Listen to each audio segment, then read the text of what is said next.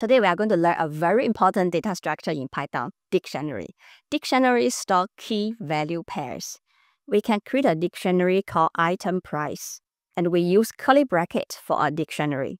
Let's say we have coffee, $3.5, burger, $4.5, fries, $2.5. So in this dictionary, have three pairs. Each pair is separated by a comma. Inside each pair, the key and value are separated by colon. Once we have this dictionary, we can access any key value pairs. I can do print, item price, use square bracket, and put a key inside. If I put key coffee and run this, I'll get 3.5, the value for the key coffee. I can also choose to add new pairs. Item price, square bracket, Coke equal to 3.99. Because Coke is not a key inside the dictionary, so this will add a new pair. Print item price.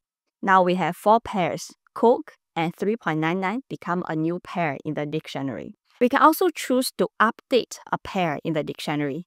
Item price square bracket. If I put coffee equal to 3.99. Because coffee is a key inside the dictionary, this will update the value for coffee to 3.99. We can print item price to check. You can see the value for coffee is 3.99.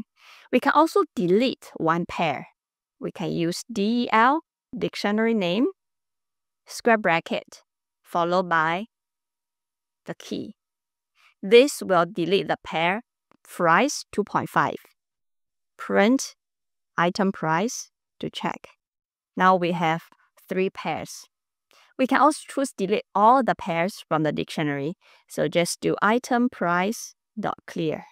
Print item price.